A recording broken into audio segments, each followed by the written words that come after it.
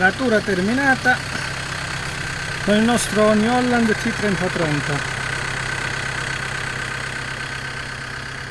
Prepariamo così la terra per l'orto invernale